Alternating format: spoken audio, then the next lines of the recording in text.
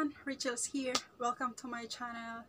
And to this video, as you can see guys in the title below, so we're gonna, I'm gonna show you kung paano ko ginagawa yung hair treatment ko, uh, hot oil treatment at home.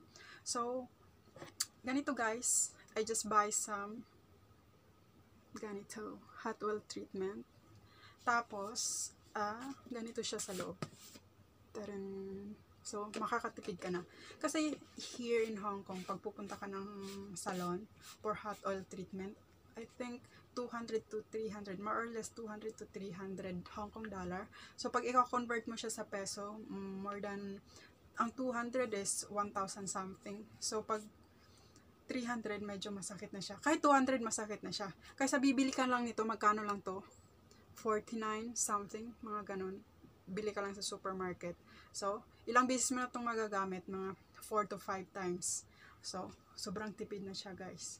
At, magiging sumusunod sa galaw mo. Charot. Ganon na yung hair mo.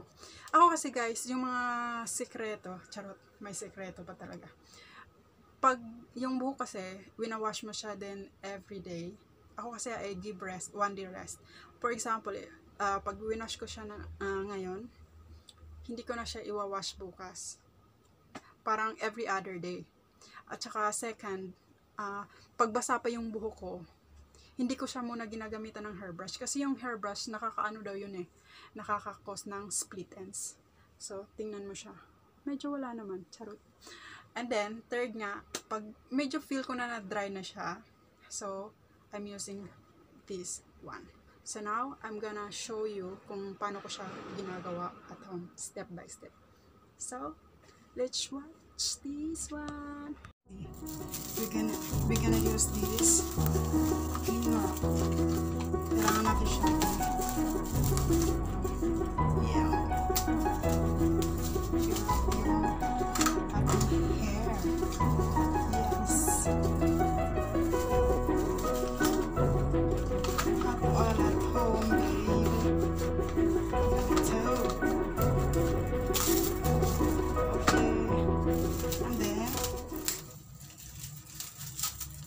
should leave it for 30 seconds or 45 minutes. 30 to 45 minutes.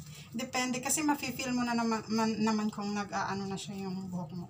Kung na-absorb na siya ng buhok mo. So,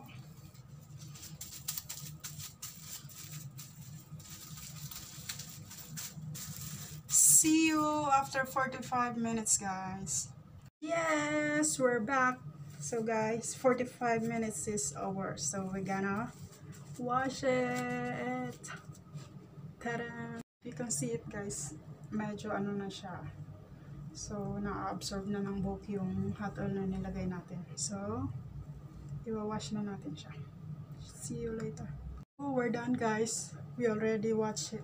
Wash our hair. So, as I said earlier, pag basa pa yung buhok nyo, gamitin nyo lang yung hands. Ganon. Huwag suklayin kasi yun yung nakakakos ng split ends. So, ganon. So, ito na yun guys.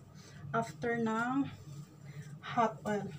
And then usually, pag magha-hot oil tayo, pwede tayong gumamit ng hair dryer after ng hot oil. Huwag lang everyday. Huwag everyday na gagamit ng hair dryer kasi yun yung nakaka-dry. Mas magiging na-dry yung buhok natin pag always tayo gumamit ng hair dryer.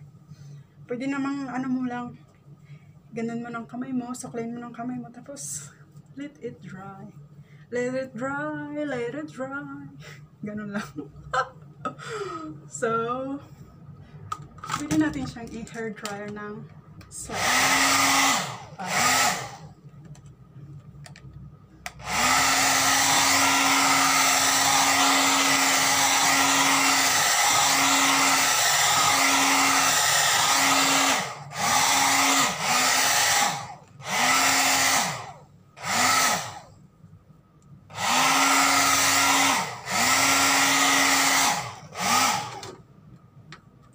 Yan.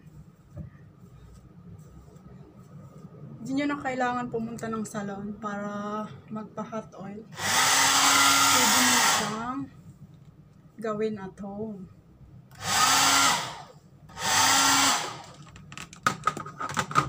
So, uulitin ko guys, yung tips natin para makip natin na healthy yung buhok natin. Healthy and shine. Tulad ng sinabi ko kanina, wash your hair every other day. So, ibig sabihin, pag winash mo siya ng Monday, so sa Tuesday, wag mo siyang i-wash. Sa Wednesday mo na ulit, at saka sa Thursday, wag mo siyang i-wash. So, yung give one day rest, para hindi mo siya ma-shampoo, para lalabas yung natural oil niya. Then, second, wag mo siyang, tulad nito basa, wag mo siyang isuklay agad, suklayin agad. Gamitin mo lang yung, yung kamay mo na suklay. So, okay na siya, di ba? Parang, nasuklay na siya. Di ba? Kasi magkakos siya ng split ends. And then number three, apply hot oil every two months. Or pag nafe-feel mo na medyo dry na siya. So yun guys, that's all for today's video. And if you have some ideas or tips on how to keep our hair healthy and shine, kung meron kayong mga secret ho dyan, just comment down below and gagawin natin yan para magtulungan tayong magiging healthy and shine yung buhok natin. Bye bye! See you on my next video. Thank you! Good morning. So guys, ito yung hair natin after ng hot oil. See? Sobrang smooth siya. Diba? Sobrang smooth. Yun siya ah, day after ng hot oil.